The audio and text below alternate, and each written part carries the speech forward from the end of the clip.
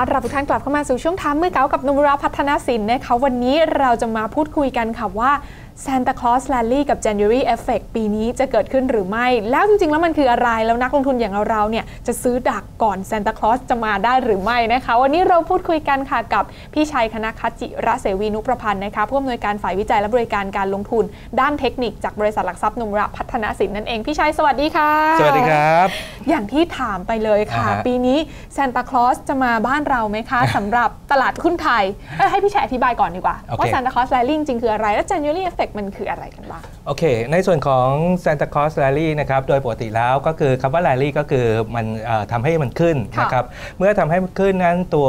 ตัวของเทศกาลนะครับเอ่อโดยปกติแล้วเขาจะนับในเรื่องของ 5 วันสุดท้าย หรือว่าช่วงคริสต์มาสก็ได้นะครับ แล้วก็บวกด้วย 2 วันแรกของเดือน January ค่ะนะครับ ตรงนั้นก็คือเขาอาจจะตีความหมายว่าเป็นเรื่องของการปรับตัวขึ้นอืม ของ Santa Claus Rally นั่นเองนะครับอืมเอาไว้ทำอะไรนะครับเหตุผลก็คือบางคนก็มองว่าอะช่วงนี้เป็นช่วงที่เอ่อใกล้ๆปีใกล้ๆปีใหม่ค่ะได้รับโบนัสมาอ่าก็ลงทุนนะครับอ่าอันที่ 2 ก็มาจากเรื่องของ Windows Dressing ค่ะนะครับ อันที่ 3 ก็อาจจะมาจากในเรื่องเกี่ยวกับเอ่อคนขายอืมหยุดพักร้อนอืมนะครับ ก็เข้าจังหวะหาผู้ซื้อนะครับอ่าอ่าที่เข้ามาบางคนก็บอกว่ามันเป็นเรื่องของ tax ค่ะเรื่องของภาษีก็ได้ อันนี้ก็เป็นของเมืองนอกเขานะครับอืมดังนั้นโดยรวมแล้วก็อาจจะมีเหตุผลนะครับค่ะที่ทำให้เอ่อภาพรวมในส่วนของ Santa Rally มีมีเกิดขึ้นครับผมอืมจริง ๆ ถ้ามองย้อนกลับไปในปีก่อนๆหน้า เราอ้างอิงจากสถิติสักนิดหนึ่งนะคะว่าครับซานตาคลอสแรลลี่ในบ้านเราเกิดขึ้นบ่อยไหมคะ จริง ๆ แล้วก็ถือว่าถ้าผมย้อนกลับไปสักสิปีอืมนะครับอืม10ปีก็พอนะครับ10ปีนั้นเท่าที่ดูจากตัวสถิตินะครับก็จะพบว่าเอ่อการเกิด Santa Santa Santa Claus Rally นั้นอยู่ในเลนจ์ประมาณบวก 6 ครั้งอืมลง 4 ครั้งอืมนั่นหมายถึงว่าก็ไม่ถึงขั้นที่แบบเอ่อจะชี้ขึ้ได้แม่นยำชี้ว่าจะมาถูกต้องอะไรคบอย่างนี้ใช่ใช่ครับอืมแล้วก็สถิติของเขาก็คือเออการบวกของเขาก็ไม่ได้เยอะนะครับค่ะอยู่ใน range ประมาณเอออยู่ใน range ประมาณ 2%ค่ะนะครับเอ่อสูงสุดประมาณ 2 ถึง 2.9%อืมอืมแล้วก็เอ่อเวลาติดลบเขาก็ติดลบมาเยอะนะครับอืมก็อยู่ใน range ประมาณ 0 จุดประมาณ 0.6ม0.7%ดังนั้นมันเหมือนกับว่าผลตอบแทนมีไหมมีค่ะนะครับเวลา downside ก็ไม่ค่อยเยอะสักเท่าไหร่ก็เลยอืมทำให้อาจจะเป็นไปได้ที่นักลงทุนบางส่วนก็อาจจะเล่นเข้ามาครับผมอ่ารู้สึกชอบเวลาที่ Santa Claus จะ coming to town ครัใช่บไหมใช่คะครับนี่เข้ามาที่กระดานเซตเนาะแต่ทีนี้อย่างที่บอกว่าถ้าฟังแบบนี้อย่างที่พี่ชายอธิบายก็คือว่าจะเป็นช่วงเวลาที่ฝรั่งจะเข้ามาซื้อ นั่นนั่นก็ส่วนหนึ่งเหมือนกันอ่านะครับส่วนหนึ่ที่งเข้าเข้ามา เพราะว่าโดยรวมแล้วต้องย้อนกลับไปก่อนนะครับ ว่าช่วงที่ผ่านผ่านๆมาด้วยภาวะการซื้อขายปกตินะครับค่ะในแต่ละปีนั้นก็จะพบว่าเอ่อมีเม็ดเงินเข้ามาในพฤศจิกธันวาอืมมีนะครับอืมแต่เพียงแต่ว่า 2 ปีให้หลังก็ต้องยอมรับนะครับว่าเอ่อเม็ดเงินที่เข้ามาในส่วนของต่างประเทศลดลงค่ะนะครับแล้วก็บางครั้งอาจจะเป็นเน็ตขายสุทธิอืมอยู่นะครับอืมเพราะว่าในช่วงของสถิติ 2 2 ปีที่ผ่านมาก็จะพบว่าเดือนธันวาคมนะครับติดลบอืมก็ต้องยอมรับนะครับะตรงนี้ก็คือติดลบอะครับผโอมเค นั่นคือในฝั่งของ Santa Claus Rally ครับนะแล้วไอ้ January Effect ล่ะคะ จริง ๆ แล้วมันคืออะไร แล้วมีนัยยะกับตลาดบ้านเรามากน้อยขนาดไหนคะพี่ชัย เอ่อจันจูเรฟเฟกมีนัยยะขนาดไหนก็คือเหมือนคล้ายๆเริ่มต้นอืมเหมือนใกล้ๆเริ่มต้นชีวิตใหม่เออหรือว่าเป็นเหมือนการลงทุนค่ะใหม่นะครับเวลาเขามองตลาดยังไงก็ตาม จริง ๆ แล้วมันก็มองได้2องสองสองระดับนะครับอืมก็คือมองช่วงสิ้นปีก็ซื้อเลยค่ะว่าปีหน้าเป็นยังไงอืมกับอันที่ 2 ก็คือมองต้นปีเลยอืมนะครับก็คือเริ่มมาแรกแล้วก็เอ่อลงทุนนะครับในส่วนของตัว January effect ก็เลยทำให้เป็นที่มาที่ไป อันนี้ก็ของสถิติเมืองนอกเหมือนกันค่ะนะครับว่าเอ่อเมื่อไหร่ที่ January effect เกิด มักจะสมมติว่าปีนั้นบวกนะครับอืม January effect บวก สิ้นปีมีโอกาสบวก ก็คือผลตอบแทนผลตอบแทนต่อปีมีค่ะโอกาสบวก อันนี้อ่าๆผมไม่แน่ใจอาจจะเป็นเรื่องของเคสหรือของสถิติมากกว่านะครับอ่าๆถ้าปีไหนจะจูเลฟเฟกติดลบค่ะปีปีนั้นสิ้นปีอาจจะไม่ค่อยผลตอบแทนไม่ค่อยเท่าไหร่ แล้วปีนี้ครับผมเป็นไงอะคะเอ่อไม่แน่ใจถ้าเป็นต่างประเทศเขาอ่าเขาเป็นเขาน่าจะเป็นบวกเพราะว่าโครงสุดท้ายก็เป็นบวกอ่าแต่ปีนี้ของเราจะเห็นว่าจะจะจูรี่ของเราค่ะ จริงๆก็เป็นบวกนะครับอืมบวกนิดหนึ่งอ่าๆแต่ว่าอาจจะท้ายๆปีอาจจะบวกลบนิดนึงเหมือนกันอ่าผมคิดว่าคงไม่มี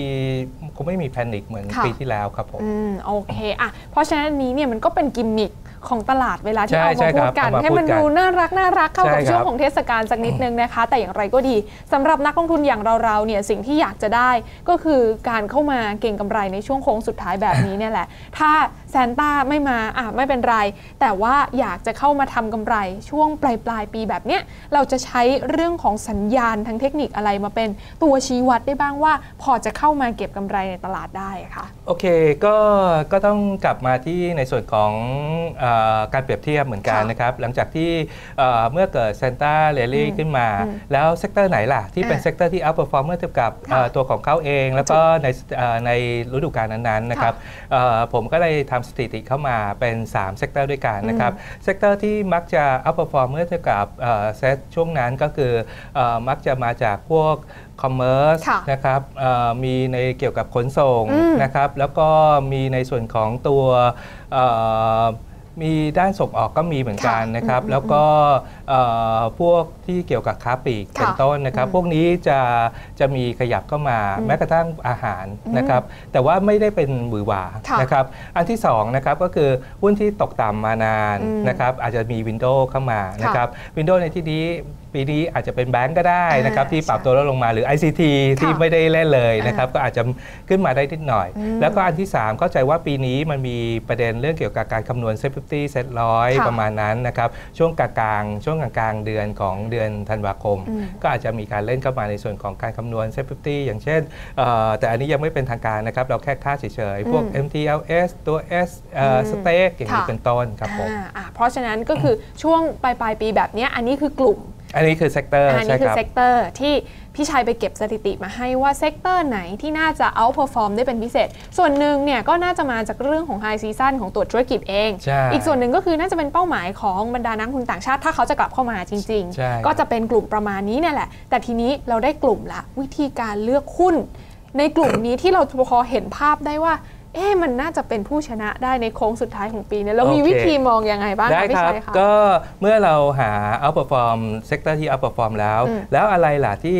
ในหุ้นตัวนั้น outperform เมื่อเทียบกับ sector เข้าไปอีกอืมนะครับนั่นหมายถึงว่าผมก็ได้เลือกขึ้นมานะครับอย่างเช่นเอ่อการท่องเที่ยวค่ะนะครับการท่องเที่ยวนั้นก็พวกโรงแรมอะไรประเภทนี้เป็นต้นนะครับเอ่อมักจะขึ้นมาก็คือของทางเราจะเลือกเอราวัณกับตัวมิ้นท์ค่ะนะครับอันที่สองก็คือฟู้ดนะครับที่เรื่องอาหารอาหารนั้นก็จะพบว่าเอ่อก็จะเป็น CPF KSL ค่ะ BRR แล้วก็ CBG นะครับอืมแล้วก็กลุ่มคอมเมอร์สนะครับที่มีการขยับขึ้นมาก็จะเป็น